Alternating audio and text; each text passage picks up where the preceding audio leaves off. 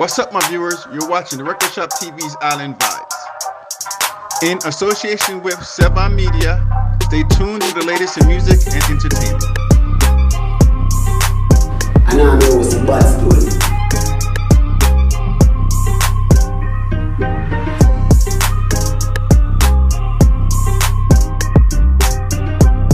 So make sure you log in. Come check us out. Welcome to Record Shop TV, Island Vibes, in association with Sevon Media. And I'm your host, Badstone. On today's show, we have one of the great producer on set, no other than Raj P. Yes, so I go on. Yeah, man, respect, man. Great man, Raj P. Cool, man. Yeah, so for, for some of the viewers um, who is wondering who is Raj P, give them a little insight and couple of the works that you do so far within the dancehall industry. Uh, Raj P is a music producer, composer, songwriter. We work with various artists in the industry. We work with Sean Paul as we are at Dutty Rock Studio. Yeah.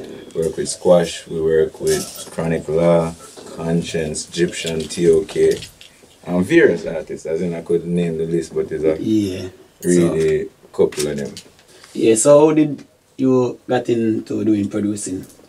Oh well, it started from my high school days. You know. Yeah? I was with had some friends. Adrian Genius was one of my close friends, and I was making some small beats on Fruity Loops at the time, and I told him I was producing.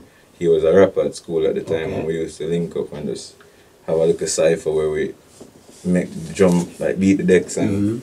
Then with a rap. And as in one day, him carry me go to a studio, actual studio, the first time, but it was in a house in College Green where I met Raskasa, who was currently now um, Kabaka Pyramid. Yeah? Yeah, and we met there, and he was like, just showing me in depth of whatever is Fruity Loops. AJ introduced me as, who is TMO now, he's an artist right now, a rapper still. Yeah. He introduced me as a producer, and he- they welcomed me as a producer. And Okay. it was from there, and like I said, alright, I'm a producer. you know? Let's venture that. So I had to venture into the world to find out what exactly a producer was, what he did, what was what was asked of him. Yeah. And then that's where I started to sharpen Uh, my kids. which high school at?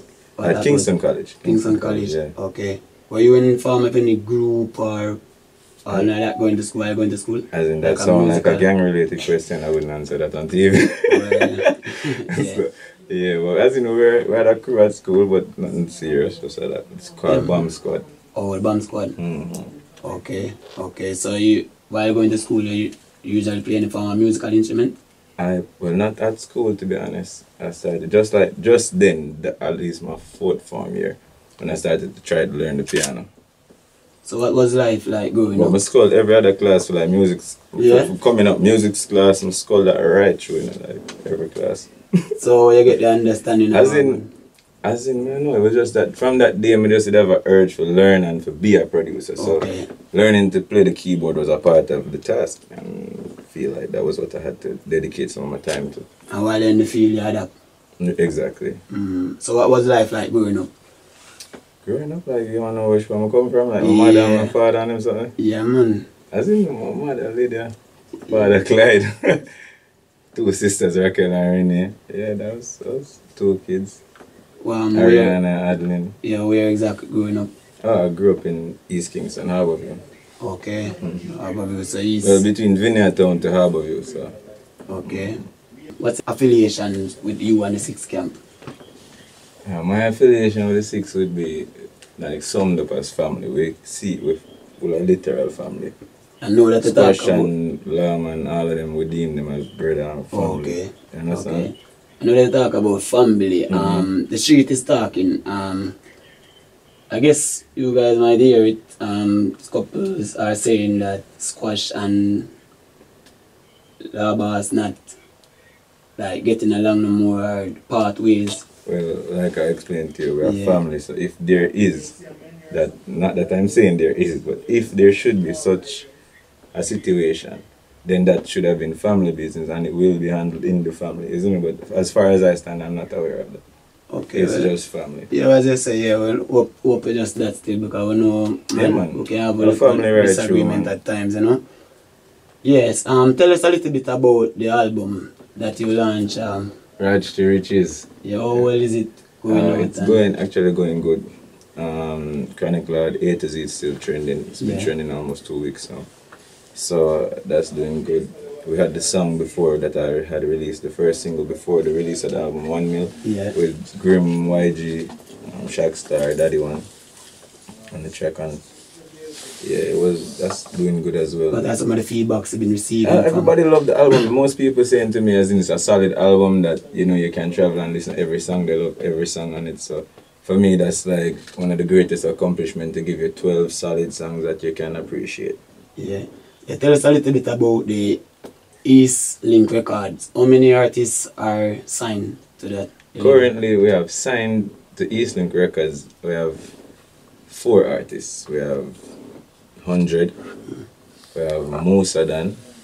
We have Abadan.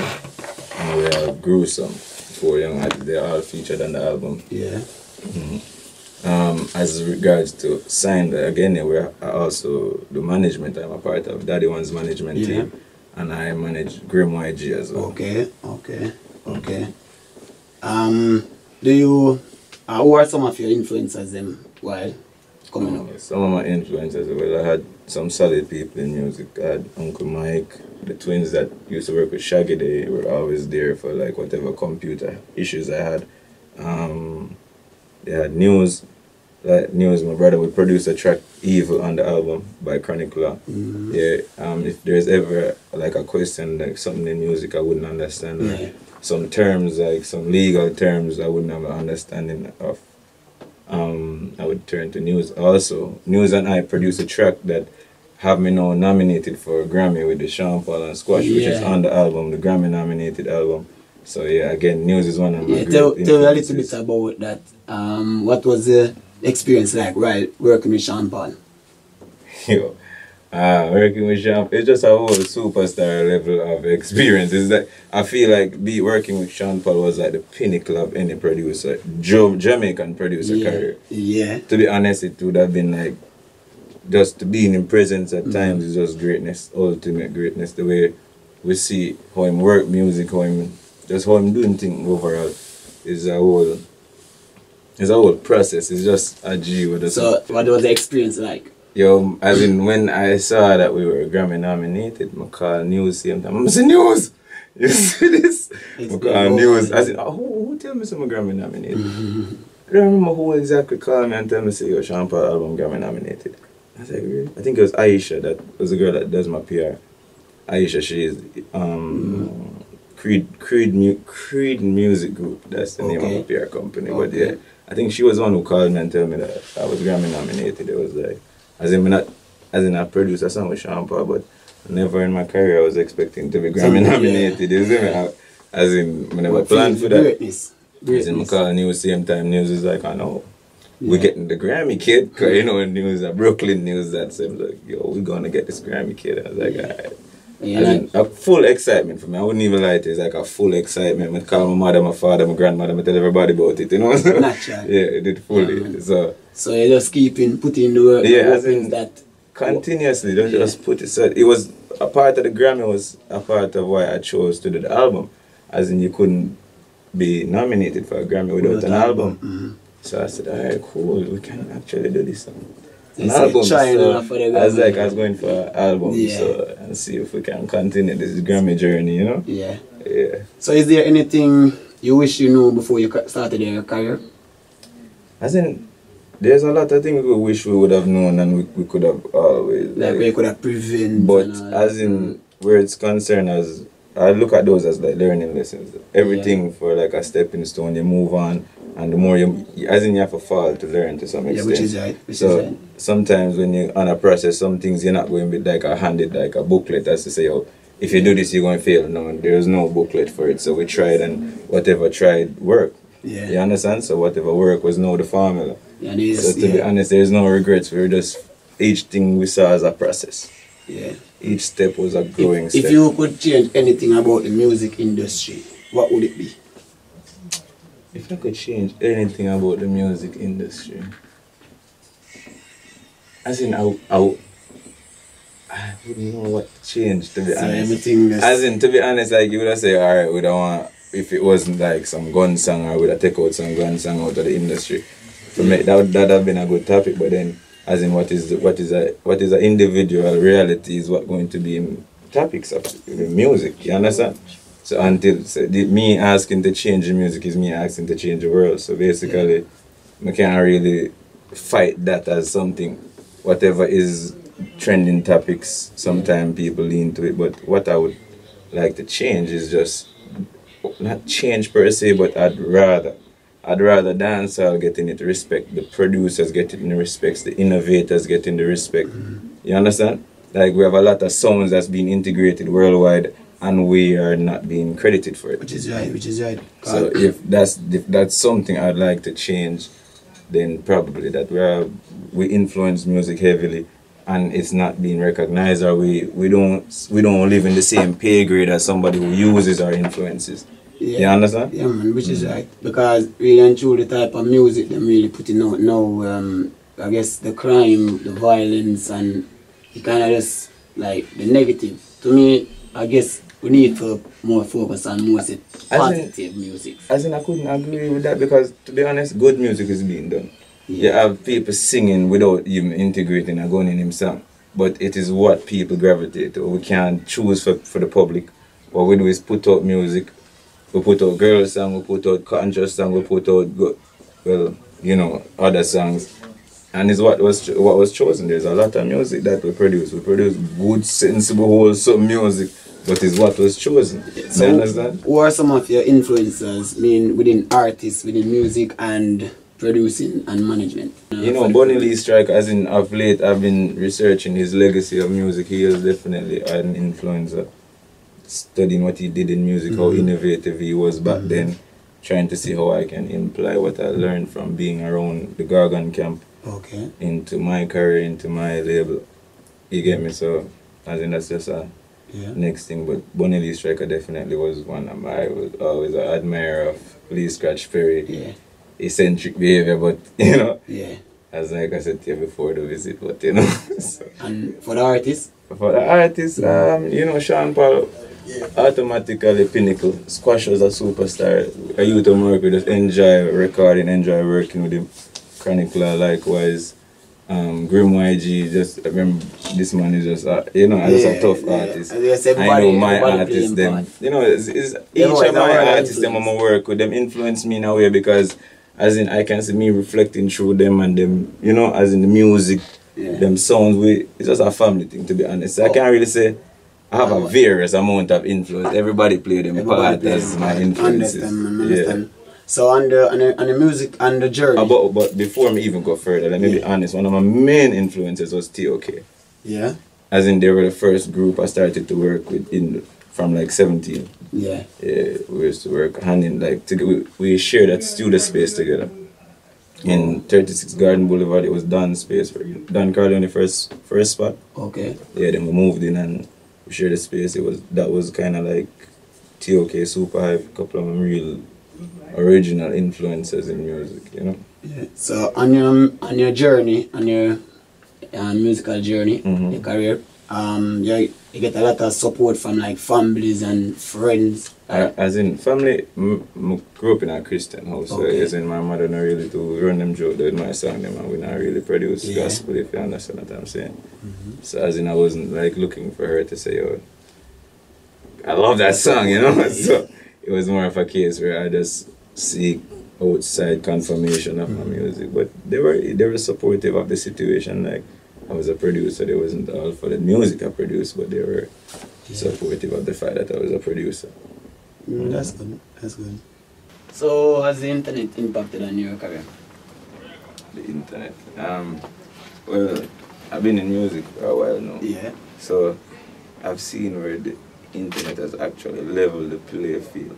Wow. Like it actually is a great midfielder in the internet. It actually leveled the ball game for everybody.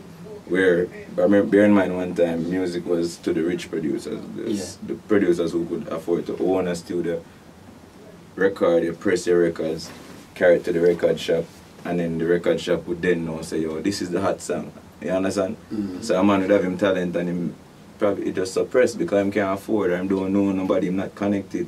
Now with the internet, I've seen a man sit at him house and record on him phone Mm. and become one of the most viral songs in the Yeah. world. You understand Yeah. what I'm saying? That's so, right. like I said, it's like the great equalizer. Mhm. Of the The internet is like the great equalizer. It level the ball game.